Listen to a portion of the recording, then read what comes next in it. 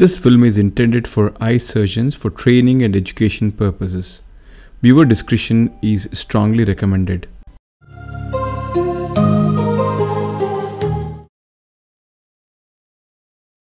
Hi, she's an elderly lady who has got this hypermature Morgagnian cataract. Let's try to go through this case. I'll be discussing about the technique of vertical chopping in free-floating nucleus and what are the challenges we encounter and how do we deal with them. In a previous video, I had demonstrated that uh, how to prevent nucleus from torque when you're trying to do a horizontal chop. In this case, we'll try to address the issue like how to prevent the nucleus from undergoing torque when doing in vertical chop. The surgery is being done under topical anesthesia.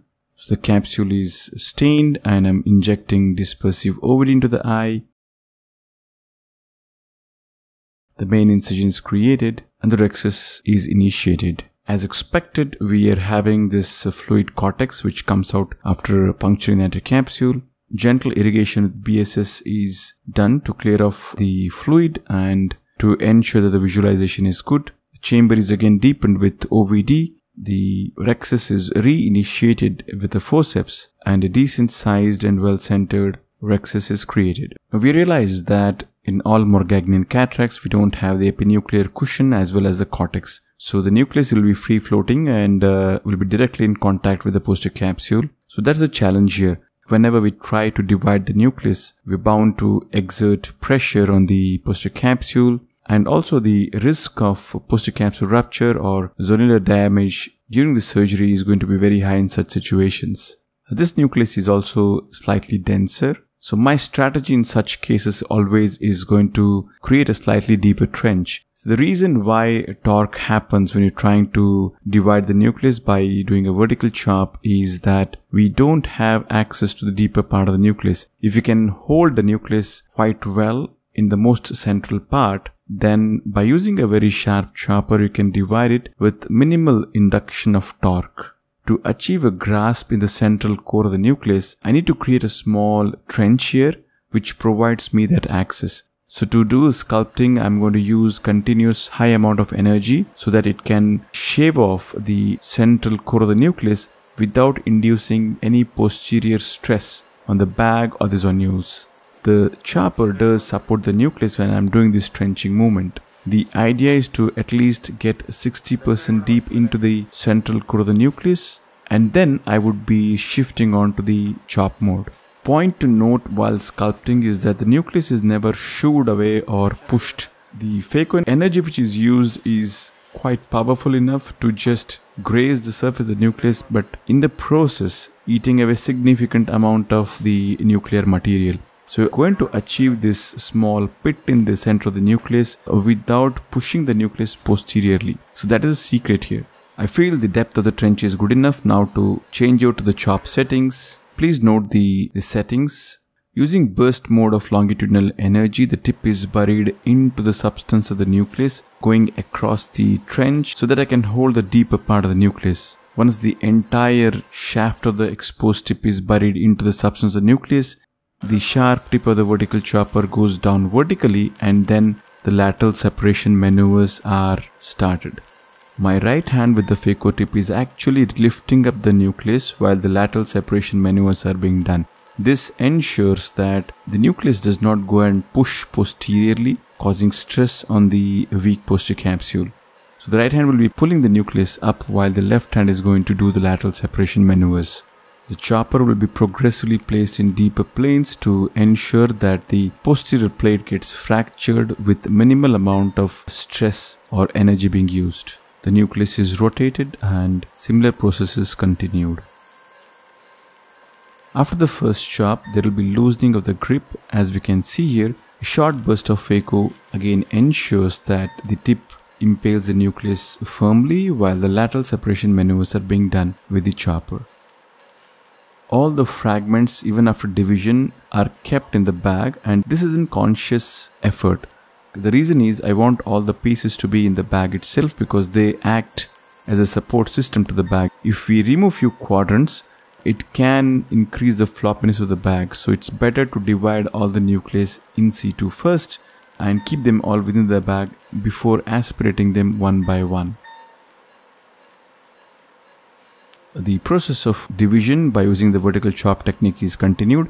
Again, the secret to deal with such cases is to ensure that we are going to hold the nucleus in the central part of the more posterior part of the nucleus. And then when we use the vertical chopper to divide the nucleus, uh, we will not get much of a torque. I think there are two aspects to minimizing torque. Number one is to hold the nucleus in the central part or probably the more posterior part and then use a sharp vertical chopper which incises and goes in. So these two components ensure that we get minimal torque while dividing the nucleus even in such a free floating hard nucleus. I have got six small fragments which are divided and all of them are within the bag and I need to deal with them individually now.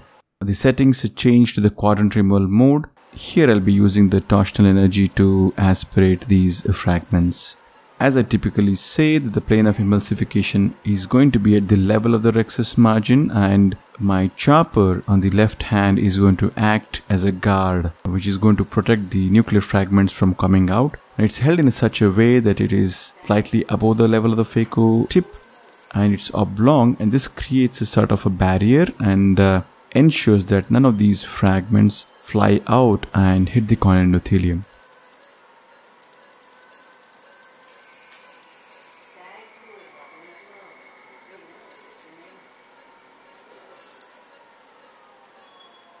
The amount of energy which is delivered controls the amount of chatter and turbulence inside the eye. So we don't want any chatter or very minimal turbulence. And this energy delivery is controlled by the foot pedal.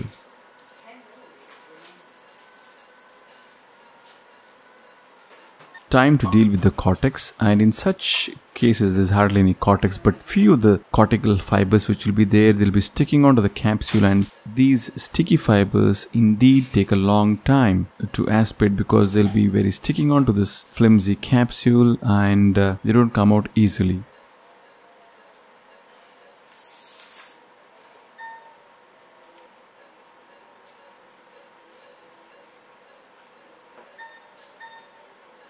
and there is this moment where in my attempt to remove the cortex I end up catching the equator of the capsular bag and luckily I realize it early and uh, pressing the reflux switch ensures that I disengage the equator of the capsule bag which was stuck in my aspiration port.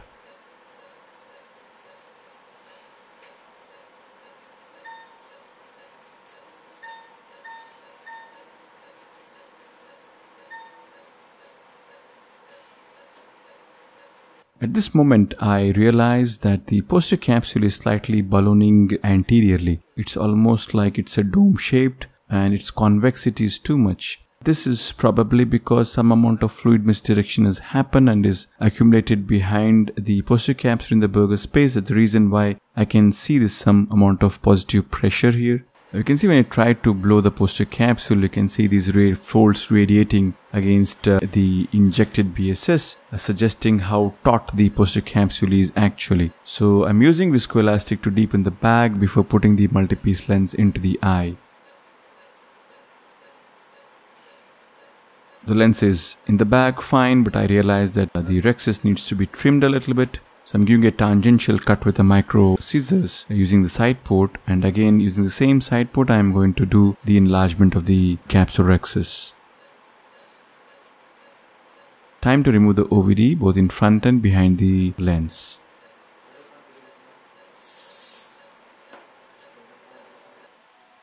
Time to close, stromal hydration is done of the side ports and the main incision. That's it, the case is done. And these are the first day pictures. The cornea looks alright. Very minimal edema is there. And she's doing fine. Thank you for watching and hope you found this helpful.